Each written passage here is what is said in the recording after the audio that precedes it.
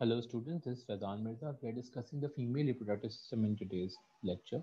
The female reproductive system is involving a series of ducts and a sea and some organs which are actually which are involved in not only in production of the gametes but also storage and as well as are, are allowing the fetus to grow within the body. So the organs of the female reproductive system include the ovaries that produce the secondary oocyte, progesterone, estrogen are the male are the main female sex hormones Inhibin and relaxin are released. They actually are involved in uterine contraction. Then there are uterine or fallopian tubes, which transport the ova to the uterus. The uterus is the region where the embryonic and fetal development occur. Vagina and external organs that constitute vulva and pituitary.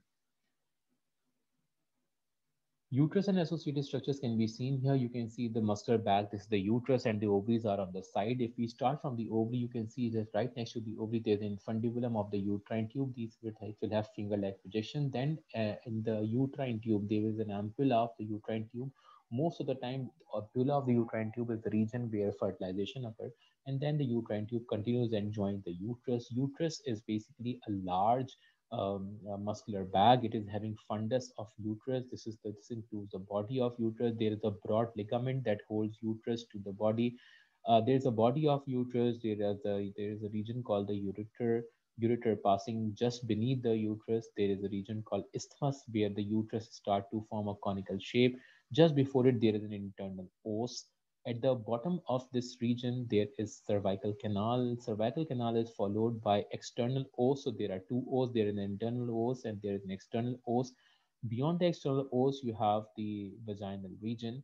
And there's a lateral fornix as well on the sides outside the uterus. There, is, there are rouges or rugae present in the vagina. These are the folds present inside that region.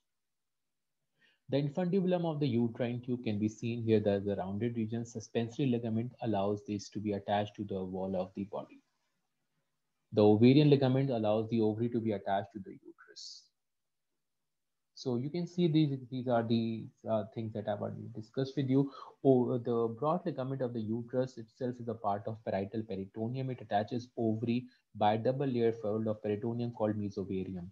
The ovarian ligament, it anchors the ovaries to the uterus. The suspensory ligaments attaches the ovary to the pelvic wall. Each ovary contains a hilus, and this is the point of entrance of blood vessels and nerves in, and the lymph into that into this uh, ovary. Each ovary consists of the parts which include germinal epithelium. This is the region which is continuous with the mesothelium that covers the mesovarium. There is a region called tunic albuginea capsule of dense irregular connective tissue you can see various structures present here. These are the primordial follicles. This is the primary follicle. This is the secondary follicle. It grows on to become a Graafian follicle. The Graafian follicle can then rupture and release the egg out of the ovary. When the egg is released, it is having corona radiata on its surrounding. It's a cluster of cells at ovulation, which is which are which keeps the egg nourished, and the remaining Graafian follicle becomes the corpus luteum it will have a blood clot in its in, in its uh, in within it and then the corpus luteum would just disintegrate and form corpus albicans so these changes are the are in the ovary that occur in every menstrual cycle inside the Graafian follicle there is a follicle fluid and this is the gamete present here so the ovary then contains the stroma. It's a region of dense irregular connective tissue, which is deep to the tunic albuginea. There is a region called cortex and an inner layer called medulla.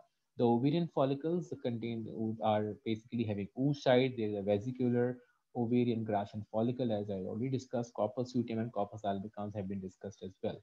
Oogenesis, how it occurs? Oogenesis occurs in various uh, phases. Various stops come in female as well. So during fetal development, meiosis one begins but stops at prophase.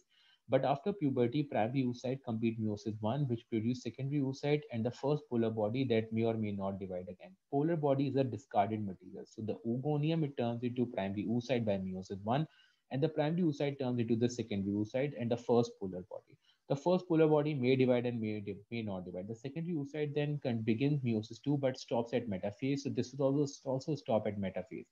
A secondary oocyte and the first polar body is ovulated they are the ones which are released when the Graafian follicle ruptures. Still, meiosis 2 is continued. Meiosis 2 has not ended. After fertilization, meiosis 2 resumes and the oocyte splits into ovum and the secondary polar body.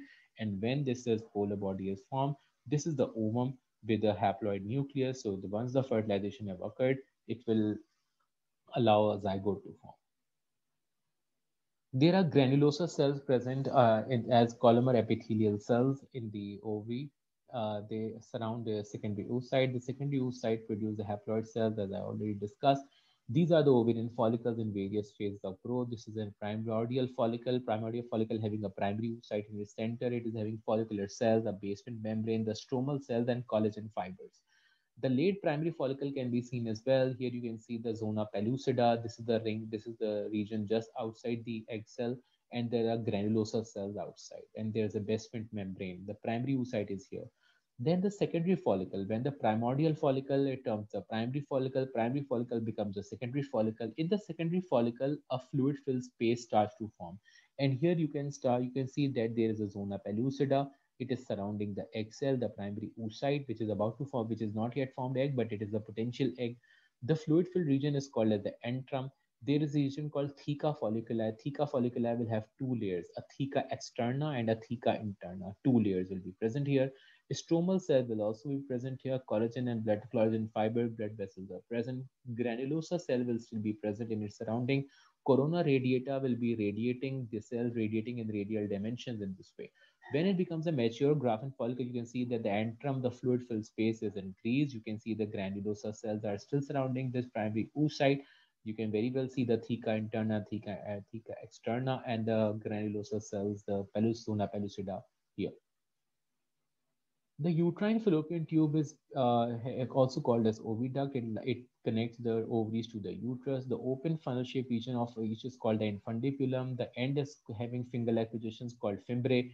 Uh, the from the infundibulum, the uterine tube extends medially and inferiorly attached to the superior and lateral angle to the uterus. The ampulla is the widest and the longest portion of the uh, fallopian tube. Isthmus is the region where the uterine tube is short, narrow, and thick-walled portion that joins to the uterus. The uterine tube composed of three layers, the internal mucosa, muscularis, and serosa. When we move on to uterus, uterus is basically the muscular part as already discussed. It's having main regions. There's a fundus, a dome-shaped region of the uterine tube. There's a body, which is major tapering portion. It is heavy, it is having the main uterine cavity. Between body and cervix is the isthmus and the cervical mucus, and then there is cervical canal, internal external course I already discussed. Mucus produced in uterus about 20 to 60 ml per day. There's a broad ligament that holds the attaches the uterus to either side of the pelvic cavity. The uterosacral ligament it uh, it holds and connects it to the either side of rectum um, and connects this to the sacrum as well the cardinal or lateral cervical ligaments below the base of the below the bases of the broad ligament between the pelvic wall uh, they connect it with the pelvic wall and the cervix and vagina. The round ligaments are the bands of fibrous connective tissue between the layers of the broad ligament. These ligaments maintain anteflexion, which means the projection of over the urinary bladder, and the retroflexion, which is posterior tilting of the uterus, the natural position of the uterus within the human body the uterus, if you go to the cellular level, we say that it's the lumen of uterus, it is having a, the lining called as a of simple columnar cell followed by endometrial stroma. This is having endometrial glands where the secretions are released. This entire forms the, the, the, uh, the layer called the stratum functionalis. Below it is the stratum basalis, and then there's the myometrium. The myometrium is the muscular lining. So stratum functionalis is stratum basalis. This is the uh, combinedly endometrium. Blood supply to uterus include uterine arteries, arcuate arteries, and radial arteries. Just before branching off, they form straight arterioles and spiral arterioles, and then the deoxygenated blood is taken away by the uterine veins. Vagina is a passageway for the menstrual flow as well as childbirth. It is a receptacle for the erect penis during sexual intercourse. It is a tubulo, tubular fibromuscular organ lined with mucous membrane and it is situated between the urinary bladder and the rectum. It is directly superior posteriorly where it attaches to the uterus. It is having a recess called fornix, which surrounds the vaginal attachment to the cervix. It consists of stratified squamous epithelial cells, connective tissue cells, which is having series of folds called rouges or rugae. At the lower end of the vaginal opening is the vaginal orifice, and there may be a thin fold of vascularized mucous membrane called the hymen. It forms a border around the orifice, partially closing it. The mucus of the vagina contains large stores of glycogen and upon which decomposition produce organic acids creating a low pH environment and retards microbial growth. It is this hymen which actually breaks during which, breaks in female and causes uh, the, the bleeding during any frictional movement, which may occur during their uh, after puberty anytime because of any physical force that was probably being caused by some sports activities or whether they are uh, naturally moving from one position to another, the, the hymen may just break. So the, the breaking of hymen is not at all related to what we what we uh, socially associated with it, that it is involved, the hymen breaking is involved with sexual intercourse or first sexual intercourse. It is not at all associated with it. Hymen breaking is completely associated with the physical force that a female may encounter because of friction, which may occur at any time after the female had hit, hit puberty. And normally the hymen breaks. So association of this together with uh, with the social taboo, this is completely incorrect and non-scientific. There is there is a region called vulva, vulva or pudendum, it, reflect, it refers to the external genitals of the female. Its components include mons pubis. Mons pubis is the anterior and to the vagina and the urethral opening. It is an elevation of the adipose tissue covered by skin and coarse pubic hair and cushions the pubic symphysis during the sexual intercourse. There is a region called labia majora or labia majus, uh, as we are discussing either singular or plural. The two longitudinal folds of skin, they extend inferiorly and posteriorly form the mons pubis. They are covered by the pubic hair and contain abundant adipose tissue and sebaceous sudoriferous glands. Labia minora is uh, uh, uh, are two smaller folds on the skin medial to the labia majora. They contain mainly sebaceous gland and a few sudoriferous gland. Clitoris is a small cylindrical mass of erectile tissue. This is similar to the penis in females but this is very small and that uh, this uh, this is just a, this is made of erectile tissue as well so upon sexual arousal this also can get erect but to a very small level it is located at anterior junction at the, of the labia, labia minora a layer of skin called prepuce is formed at the point where labia minora unite and covers the body and form clitoris so clitoris is that part that i just discussed the exposed portion of clitoris is the glans. so it is involved in sexual excitement of female the sexual pleasure associated with sexual intercourse is, is because of this region called clitoris. And as I told you that clitoris in females is actually a complementary structure to the penis of males. Vestibule is the cleft between the labia minora. It consists of hymen, the vaginal orifice, external urethral orifice, and the opening of several ducts. The bulb of vestibule consists of two elongated masses of erectile tissues just deep to the labia on either side of the vaginal orifice. Anterior to the vaginal orifice and posterior to the clitoris is the external urethral orifice, the opening of the urethra to the exterior. You can see these regions, it is displayed in the diagram where the labia majora, labia minora, hymen, and the vaginal orifice, the prepuce of clitoris are shown to you. The accessory glands and the perineum on either side of the external urethral orifice are the openings of the ducts called paraurethral gland or the Skene's gland. These glands are embedded in the walls of urethra and secrete mucus. On either side of the vaginal orifice itself are the greater vestibular or Bartholin's glands. These glands open by the ducts into the groove between the hymen and the labia minora and produce mucus secretion that supplements the lubrication and reduces friction during sexual intercourse. There's a lesser vestibular uh, gland which also visits the vestibule and the perineum is a diamond-shaped area between the thighs and the buttocks on the both males and females that contain the external genital and the anus. It is bounded anteriorly by the pubic symphysis and laterally by the ischial tuberous and posteriorly by the coccyx. Secretion and the physiological effects of the hormones are shown to you. LH and FSH, they stimulate various phases of the menstrual cycle, the growing of follicles and the stimulation of the Graafian follicle and rupturing during the ovulation basically is carried out by FSH and LH simultaneously.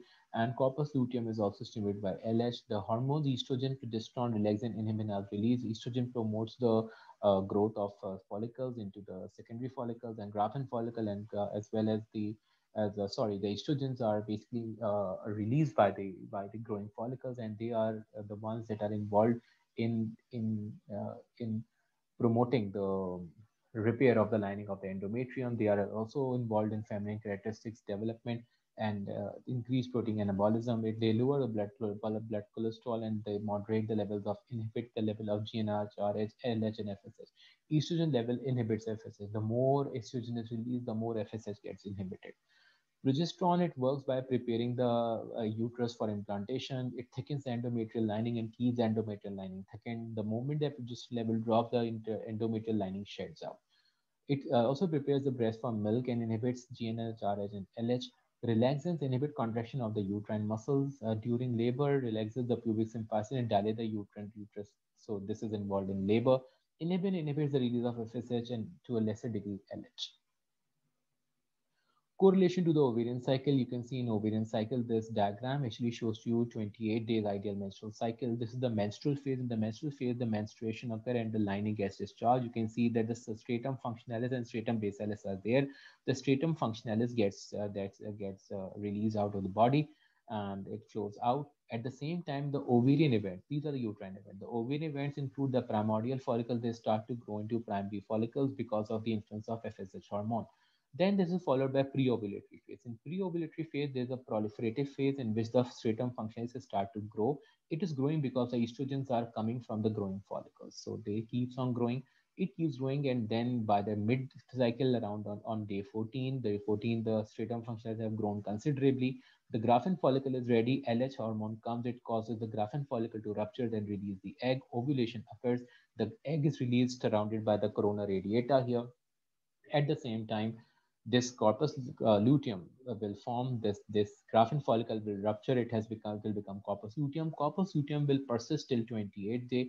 It will keep secreting progesterone and estrogen and it will keep the LH and FSH inhibited as well. So progesterone and estrogen will uh, will be affecting the stratum functionalis in such a way that the stratum functionalis will keep on increasing in width. So the stratum functionalis keeps uh, keeps growing and becomes more spongy. So at the end of the 28th day corpus luteum dies, it disintegrates, it turns into the corpus albicans. The moment it turns into corpus albicans, the lining sheds. The stratum functionalis shed and menstruation occurs again. So the uterine phase actually is involving the menstrual phase, the pre-ovulatory phase, ovulation, and the post-ovulatory phase, whereas the ovarian cycle includes the follicular phase where the follicles were growing and the luteal phase where the corpus luteum had formed. Positive feedback occurs uh, in females due to uh, by the high levels of estrogen and the secretions of GnRH. High level of estrogen from all from all from almost all the uh, mature follicle release cause the release of more GnRH. It causes more LH to be released, and that cycle just continues. Here, further on, this is the hormonal summary of interaction of how these these uh, these uh, hormones are influencing one another. This is all that I had to discuss regarding the female reproductive system. Thank you so much.